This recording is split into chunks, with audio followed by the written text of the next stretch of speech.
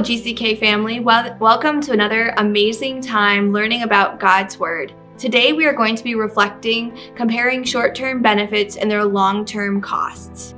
You know, I was remembering when I was younger, I was such a sweet tooth. I would want to eat only candy.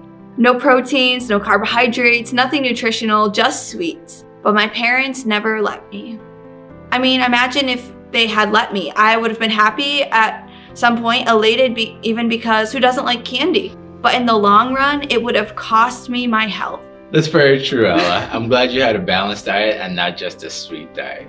You know, some of us still pick temporal and earthly gratification over eternal life, and that's not exactly a good choice. After today's message, I hope we'll reflect and change our ways. So now let's listen to Dr. Kumuyi.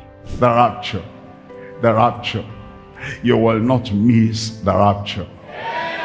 Now tell me, what's the good? I come to the church. What's the good? I read my Bible. What's the good? I made restitution. What's the good? I evangelize. What's the good? I give. I give. I pay tithes and offering. What's the good? I attend all these retreats. What's the good? Stay there in the sun and then the rapture happens. And the saints go marching in. And because of infighting with your wife, infighting with your husband, hatred, unforgiving spirit, and because of initiating fight and violence, the rapture takes place and then he's nowhere to be found. She's nowhere to be found. I pray that will not happen unto you. First Corinthians chapter 15. I'm reading from verse 51. First Corinthians chapter 15, verse 51. Behold, I show you a mystery. We shall not all sleep, but we shall all be changed. Verse 52. In a moment, in a twinkling of an eye, at the last trump, for the trumpet shall sound, and the dead shall be raised incorruptible, and we shall be changed. And we shall be changed. And we shall be changed. Rapture, it will happen. And I pray you will not miss the rapture. First Thessalonians chapter 4. I'm reading from verse 14. The rapture.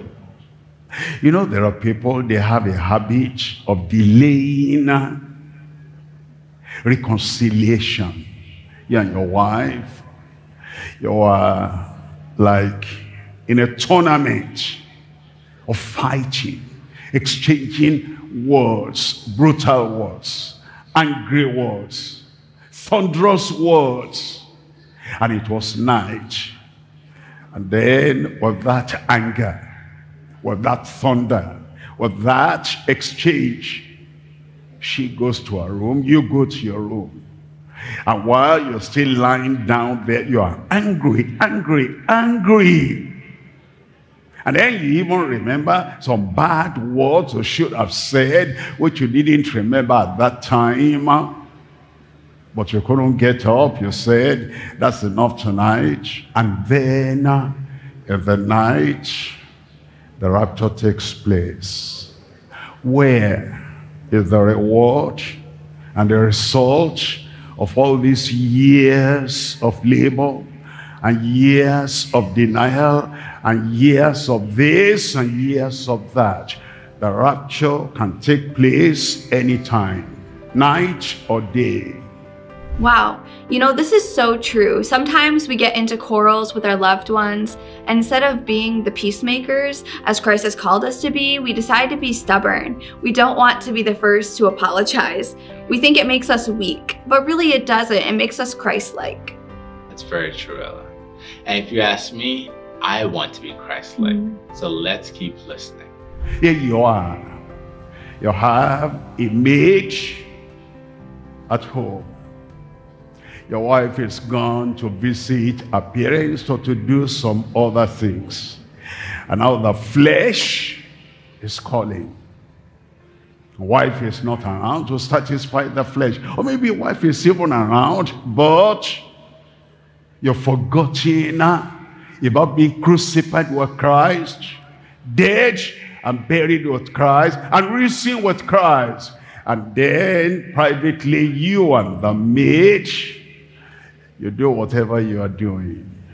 And then uh, the rapture takes place. Look at this man been loud in testimony. I am saved. I am sanctified. I am filled with the Holy Ghost. I talk in tongues. There you are. The flesh has not released you. And the rapture takes place. Look at that man. Money. Money. Gehazi. He's been the servant of the man of God. And now, look at money on the bench there. Look at money in the offering bag. And he said, I'm out of work. I need money. And he puts his sand and he steals from God in the house of God. And when they're leading prayer, brethren, pray tonight. It's going to be great. God will do this. God will do that is shouting and praying. Meanwhile, stolen money is in your account. And it's there. And you're spending stolen money. And the rapture takes place. And then we're gone. He tries to jump. My brother, covetousness will not allow you to make it. Where will you be? After all this profession of religion, after all the participation in religion, where will you be when the rapture happens? What will be your joy? That a million naira hindered you from eternity with God. What will be your joy? That 10 minutes of fleshly pleasure with a maid, with a harlot, with a strange woman, hindered you from making the rapture. Everybody knows you here. You're popular. And whatever you tell people to do, that's what they do, good or bad. And then, as popular as you are, the rapture takes place. And you are nowhere to be found. What will be your story at that time? First Thessalonians chapter 4, I'm reading from verse 14. For if we believe that Jesus died and rose again, even so them also which sleep in Jesus will God bring with him. Verse 15. For this was say unto you by the word of the Lord, that we which are alive and remain unto the coming of the Lord shall not prevent them that are asleep. Verse 16. For the Lord himself shall descend from heaven with a shout, with the voice of the archangel, our the trump of God, and the dead in Christ shall rise first. Verse 17. Then we which are alive and remain shall be caught up together with them in the clouds to meet the Lord in the air. I will be there. I will be there. So shall we ever be with the Lord. Amen. Amen and amen. And so shall it be that we will all be with God in the end. But that's if we decide to do what God wants us to do. We have to let go of ourselves, our sinful flesh, our desires that hurt others. We have to let go of pride, greed, sexual immorality, and hold on to Jesus. Be intentional about our relationship with Him. I totally agree with you. Today, as Christians, let's reflect on our lifestyle. To what end are all of these? we are are we just religious or are we cultivating a relationship with God? If you haven't said yes to Jesus, now is the time. You cannot afford to miss the rapture. Online, raise up that hand. This is the day of your salvation. As you are raising up your hand, stand up as I'm going to pray with you. Stand up right now, wherever you are. Praise the Lord, praise the Lord, praise the Lord for you. Stand up right now, and I'm going to pray with you. Salvation has come. This is the time, and this is the day of your salvation. Now, as you are standing up briefly and quietly tell the Lord, Oh Lord, I receive you as my Lord and Savior. Lord, say it between you and the Lord, I know I am a sinner. I don't have personal power to overcome all these sins. But I turn from my sin. I repent of my sin. I throw away all my iniquities. I come in my heart by my faith, in my volition, by myself. I come to you to save me and to forgive me. I know you will not reject me. Thank you, Lord you died for me on the cross of Calvary. I receive your salvation. Whether I feel anything or not, I believe my prayers are answered.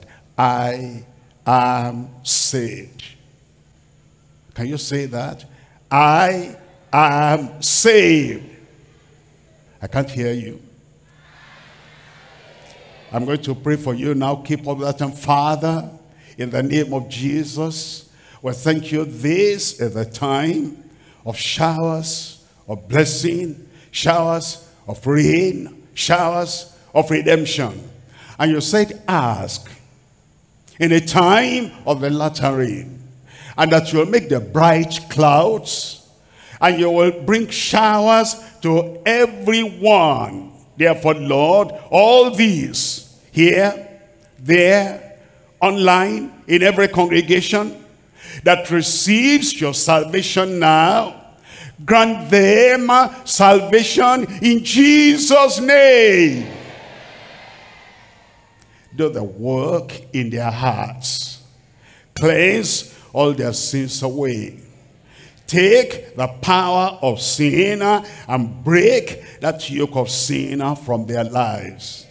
Confirm their salvation, their redemption, eternal life in the heart of everyone now. Lord, it is done. We receive. Thank you, Lord. In Jesus' name we pray. Amen. It is done.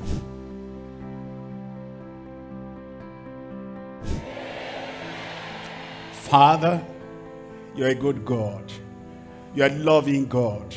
You're a merciful God. And you're a mighty, powerful God. With you, all things are possible. You dried up the Red Sea. You will dry up that issue of blood you made the Jericho walls to fall down and every swelling uh, will fall down from the body of your children in Jesus name. Now I send forth the power of the Lord upon your life. Receive your miracle in Jesus name Receive your healing in Jesus' name. Swelling of goiter and any other kind of swelling in your body. Come out in Jesus' name. Deaf, dumb, I pray the Lord will touch your ears right now. Touch your mouth right now. Your tongue right now hear and speak out in Jesus' name. Blind eyes, dim eyes. Right now, the touch of the Lord is on your eyes. You will see. As we open our eyes, you will see clearly in Jesus' name.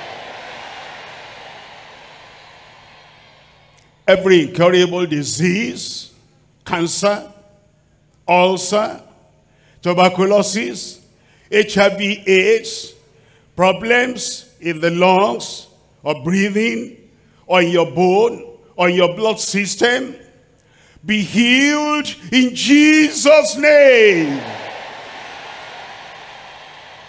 All the messengers of death that wanted to take your life, I cancel that yoke. I remove uh, that suffering in Jesus' name. I pray, Lord, for those who are paralyzed, or they have stroke, or they have broken bones, or they're lame in any way. I pray that your power will come upon them right now. Rise up and walk in Jesus' name. Lord, I pray whatever problem, whatever challenge, whatever sickness, whatever disease, touch everyone right now. Right, left, center, far back, in those halls, everywhere, online, in every congregation, every state, every nation, touch them, heal them now in Jesus' name. Shake off the disease of the world out of their body. Make whole. Everyone. Everyone. Make them whole in Jesus' name. Thank you, Lord. Thank you, Lord. It is done. It is done. In Jesus' name I pray. Praise the Lord, praise the Lord, praise the Lord. You have got it in Jesus' name. Now check up yourself. You have a testimony tonight. Thank you for joining us on our program today. Perhaps you have responded to God's call to salvation. His call to come home and to experience His precious love. That call comes with a great promise. The promise that whoever calls on the name of the Lord shall be saved. If you made the decision to follow Christ, we want to stand alongside you in your newfound faith and help you in any way we can. Please get in a good Bible believing church and make achieving heaven your goal. Also, please visit us at www.gckhq.org to connect with us and please send us your prayer requests. We will be glad to hear from you. Our God is greater, our God is stronger. Lord, you are higher than any other. Our God is healer, awesome in power. Our God, our God, our God. Let's go to the first verse. Water you turn into wine. Water you turn into wine. Open the eyes of the blind. There's no one like you. No one like you, Lord. None like you. Into the darkness you shine. Into the darkness you shine. Out of the ashes you rise. Out of the ashes we rise. There's no one like you. No one like you, Lord. None like you. Our God is greater. Our God is greater. Our God is stronger. Lord, you are higher than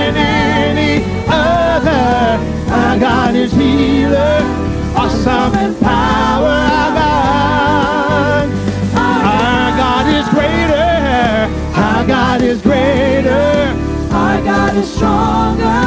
God, you are higher than any. Our God is healer, healer, awesome in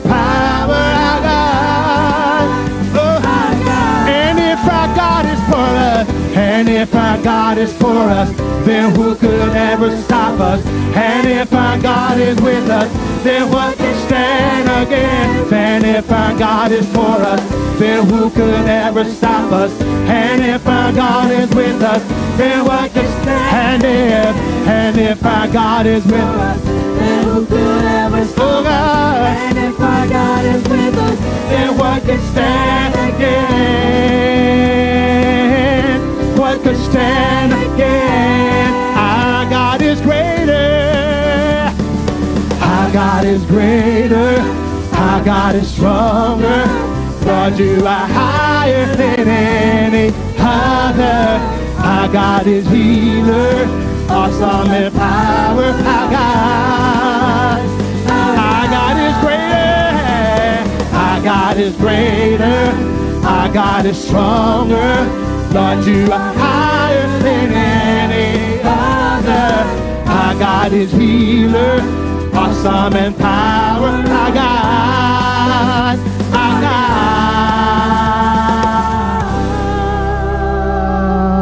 Give the Lord a hand of praise all over the room. Come on, give the Lord a hand of praise because our God is good, our God is great, and He is an awesome God. Amen. Thank you for joining us for another episode of GCK Daily, the Global Crusade with Kumuyi. We believe that this episode has drawn you into a closer relationship with Jesus Christ, who loves you so much and gave his life that you might live.